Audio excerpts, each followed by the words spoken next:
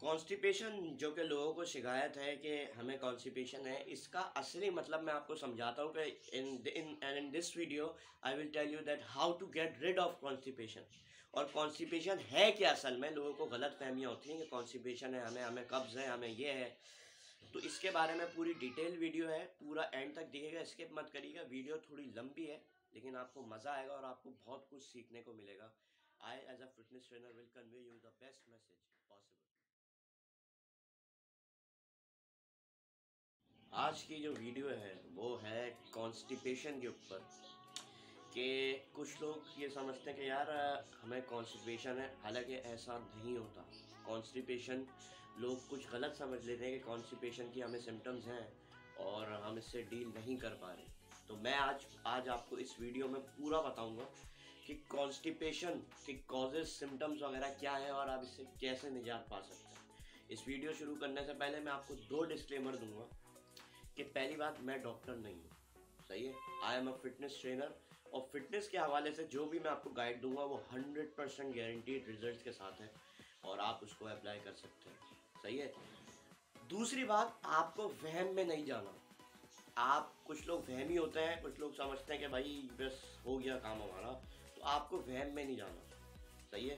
Start करते हैं video तो कॉन्स्टिपेशन अब मैं आपको समझाता हूँ एनाटमी कॉन्स्टिपेशन की। हम इसमें एनाटमी समझेंगे पहले, उसके बाद जो है कॉन्स्टिपेशन के कॉजेज सिम्टम्स वगैरह और ट्रीटमेंट वगैरह हम जानने की कोशिश करते हैं। सबसे पहली बात एनाटमी समझ लें आप। आप जब कोई, आप देखते हैं, आप निवाला खाते हैं कोई, आप खाना खाते हैं तो आपका जो है, खाना जो है वो, जैसे ही आप मुँह में रखते हैं, उसको चबाते हैं तो आपका खाना जो है वो कुछ सेकंड के लिए डाइजेस्ट होना शुरू हो जाता है। जब आप अंदर जाते हैं, फ़ौरन ही डाइजेस्ट होना शुरू हो जाता है वो। जब आप खाना खा लेते हैं, सही है? उसके बाद वो खाना जो है, आपका प्रोडक्ट जो है, वो स्मॉल इंटेस्टाइन में जाता है। स्मॉल इंटेस्टाइन में जाता है वो और स्मॉल इंटेस्टाइन से जल्दी पास होता है वो। सही है? स्मॉल इंटेस्टाइन से जब वो पास होता है तो वो कोलन में स्टोर हो जाता है। Colon which is called large intestine large intestine में जब वो स्टोर होता है तो उसके बाद कोलन जो है वो थोड़ा एब्जॉर्ब कर लेता है पानी। कोलन जो लार्ज इंटेस्टाइन है, वो थोड़ा पानी एब्जॉर्ब कर लेता है। और एब्जॉर्ब करता है जब वो थोड़ा पानी तो आपका जो वे स्टूल जो है stool which is called waste material waste waste product जो आप रिलीज़ करते हैं, उससे जो है वो पानी स्टोर कर लेता है और एब्जॉर्ब कर लेता है पानी तो वो उसको आपकी वेस्ट को सख्त बना देता है स्टूल को सख्त बना देता है। सही है? जब वो वहाँ से पास आउट होने लगता है लार्ज इंटेस्टाइन से तो वो रेक्टम की तरफ़ आ जाता है from this is the area from which you pass your waste material सही है? रेक्टम के पास जब वो आता है तो मसल्स कॉन्ट्रैक्शन होती है वहाँ पे। जहाँ पे आपके ब्रेन को इंडिकेशन मिलती है कि हाँ यार, मुझे अब ज़रूरत है वेस्ट वेस्ट को पास करने की। सही है? जब आप पास करते हैं तो आपके माइंड पे एक इंडिकेशन आती है। और जब आप वो पास करते हैं तो आपको पहली बात दर्द होता है। सही है? दर्द होने के साथ साथ आपको कुछ ऐसा लगता है कि मेरा वेस्ट मटेरियल सही से पास नहीं हुआ। या आपका जो फ़ूड है वो सही से डाइजेस्ट नहीं हुआ। उसने वाटर बहुत ज़्यादा एब्जॉर्ब कर लिया कोलन ने लार्ज इंटेस्टाइन ने। तो ये है कब्ज ये है कब्ज जब आपका वाटर जो है वो ज़्यादा एब्जॉर्ब कर ले कोलन तो अब इस सिलसिले में हम क्या करना चाहिए? हमें सबसे पहली बात ये समझना चाहिए कि लोगों को जो गलत फहमियाँ हैं हमें कब्ज़ है। देखें ये कोई आ, इसको कोई बीमारी नहीं है ये कब्ज़ कोई बीमारी नहीं है लेकिन कुछ केसेस हैं जिसमें आपको डॉक्टर से मशवरा लेना पड़ेगा। सही है? वो केसेस में मैं अभी आपको बताता हूँ इसके कॉजेस क्या है वो पहले आप सुन लें। सबसे पहली बात सबसे पहली बात जो लोग कब्ज़ की शिकायत है कुछ लोग समझते हैं कि हमें दिन में जो है दो तीन दफ़ा वेस्ट पास हो रहा है तो हमें कब्ज़ है। कुछ लोगों को बहुत ज़्यादा पास होता है, हमें कब्ज़ है। कुछ लोगों को जो है वो थोड़ा सख्त आता है तो वो समझते हैं ये कब्ज़ है। कब्ज़ नहीं है। मैंने जो एनाटॉमी समझाई है, वो है कब्ज़ विच इज़ कॉल्ड कॉन्स्टिपेशन सही है? अब इसके कॉजेज क्या है? कॉजेज ये हैं, सबसे पहली बात, जो लोग पानी ज़्यादा नहीं पीते।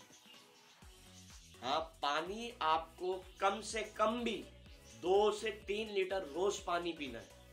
अगर आपको वेस्ट मटेरियल में पास करने में दर्द हो रहा है, ताकि कोलन जो है वो जितना पानी एब्जॉर्ब करे, उतना ही आपके वेस्ट मटेरियल से पास हो, ताकि आपको दर्द ना हो स्टूल पास करने में। सही है? दूसरी बात, जिनका स्लीप पैटर्न सही नहीं है, ये बात सुन लें, हम भी इस चीज़ में जो है वो हंड्रेड परसेंट जो है वो इसमें नाकाम हो जाते हैं कि हमारी स्लीप पैटर्न सही नहीं है। तो छह से आठ घंटा आपको सोना है। छह से आठ घंटा आपको अपनी बॉडी को रिकवर करना है, सोना है रेस्ट देना है। उसके बाद जो लोग डाइटिंग पे होते हैं डाइटिंग के आप समझ लें डाइटिंग का मतलब मैंने अपनी पहली वीडियो में समझाया है, वो मैं लिंक दे दूँगा, वो देख लीजिएगा। डाइट जो करते हैं लोग जो ये समझते हैं कि हम खाना रोक देंगे whether if you are on weight loss और जो भी आपका गोल है। खाना रोकने से भी कब्ज हो जाती है। ये कैसे होती है? कुछ लोग जो है वो खाना नहीं खाते, और जब खाते हैं तो बहुत ज़्यादा खा लेते हैं। ये कब्ज की निशानी है एक। सही है? उसके बाद मेडिकल साइंस ने और लिटरेचर ने जो है ये साबित करा है कि जो लोग फ़िज़िकल एक्टिविटी नहीं करते या ज़रा सी फ़िज़िकल एक्सरसाइज नहीं करते उनको कॉन्स्टिपेशन की शिकायत होती है। उसके बाद अगर आप कॉन्स्टिपेशन से बचना चाहते, ये मेन रीजन है जो कॉन्स्टिपेशन के जो होते हैं, ये मेन चीज़ है। उसके बाद अगर आप बचना चाहते हैं तो आप, मैं उन लोगों की बात कर रहा हूँ जो इस चीज़ को बीमारी समझते हैं, लेकिन ये कुछ केसेस में बीमारी नहीं होती है। मैं उन लोगों की बात कर रहा हूँ जो कॉन्स्टिपेशन के हवाले से कुछ वक्त के लिए तंग है या कुछ जो है उनको शुरू हुई है। तो आप फाइबर का इस्तेमाल ज़्यादा करें। फ्रूट्स खाएँ, ग्रीन वेजिटेबल्स खाएँ, जो कि आपके डाइजेशन में आपको हेल्प करेगी कि वो जो है आपके स्टूल को जो है सही से और आराम से पास होने देगी। सही है उसके बाद ईटिंग डिसऑर्डर जो है आपको नहीं रखना अपना। ये मैं आपको बता दूँ कि ईटिंग पैटर्न जो है ये भी कॉन्स्टिपेशन की सबसे बड़ी अलामत है। अगर आपका ईटिंग डिसऑर्डर है जैसे मैंने बोला कि आप मील्स स्किप कर रहे हैं या एक दफ़ा नहीं खा रहे हो बहुत ही खा लेते हैं एक दूसरी दफ़ा तो आपका कब्ज होगी। और ब्रेकफास्ट स्किप करना, जो कि हम सब करते हैं कभी कभी ब्रेकफास्ट आपको स्किप नहीं करना। मेटाबॉलिज्म जितना फास्ट होगा, उतना आपको वेस्ट स्टूल पास करने में और आसानी होगी। बनस्बत इसके कि आपका डाइजेस्टिव सिस्टम स्ट्रांग नहीं है और आप नाश्ता नहीं कर रहे। तो आपको कॉन्स्टिपेशन की शिकायत आ सकती है। एनाटोमी के हवाले से उम्मीद है कि आप लोगों को बात सही से कन्वे हो गई होगी।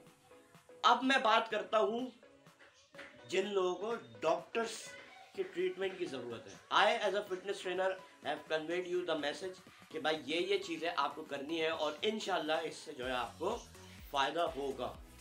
मेरा खुद का एक्सपीरियंस बहुत से बॉडी बिल्डर्स भी गुजरते हैं कॉन्स्टिपेशन से, लेकिन उनको हो जाता है जब वो कम्पीट करते हैं। आपने देखा होगा कि सबसे बड़ा मसला बॉडी बिल्डर का यही होता है कि उसको कॉन्स्टिपेशन होती है। तो अब मैं बात करता हूँ, जिनको डॉक्टर से मशवरा लेना चाहिए। देखें, अगर आपको वेस्ट मटेरियल पास हो रहा है और अगर आपको शिकायत है कि यार मैं जितना पास कर रहा हूँ, जितना मेरा स्टूल पास हुआ है, उतना मैं सेटिस्फाइड नहीं हूँ। मुझे लगता है कि अभी और होना है, लेकिन आप फारिग हो जाते हैं जल्दी। तो ये सबसे बड़ी अलामत है कि आपको डॉक्टर से डॉक्टर से जो है आपको डिस्कस करना पड़ेगा ये चीज़। दूसरी बात, अगर आपको स्टूल वेस्ट स्टूल पास करने में थोड़ा सा ब्लड आए, या चिपका हुआ होता है ब्लड थोड़ा सा वेस्ट मटेरियल पे स्टूल पे तो वो भी आप डॉक्टर से मशवरा करें। तीसरी बात, अगर आपको लग रहा है कि यार मेरा वेट कम हो रहा है और आपको ज़्यादा वॉशरूम मतलब वेस्ट स्टूल पास करने में शिकायत आ रही है तो जब भी आप डॉक्टर से मशवरा करें। और कुछ लोगों का जो होता है, जो कॉन्स्टिपेशन से बचपन से होता है, उनको ये होता है कि वो स्टूल के साथ साथ थोड़ा बहुत गोश्त भी गोश्त का हिस्सा जो है, वो उनका पास हो जाता है विच इज़ वेरी पेनफुल तो इस सिम्टम में भी आपको डॉक्टर से तजवीज़ की ज़रूरत है। लेकिन आपको वहम में नहीं पड़ना। ये कोई मेडिकल साइंस में या फिटनेस के उसमें, दुनिया में ये कोई बीमारी नहीं है। हमारे चैनल का मेन थीम क्या है? That you have to work hard you have to work on yourself through fitness और physical activity pump and burn ये नाम मैंने इसलिए ही पंप आप करें पम्प आप और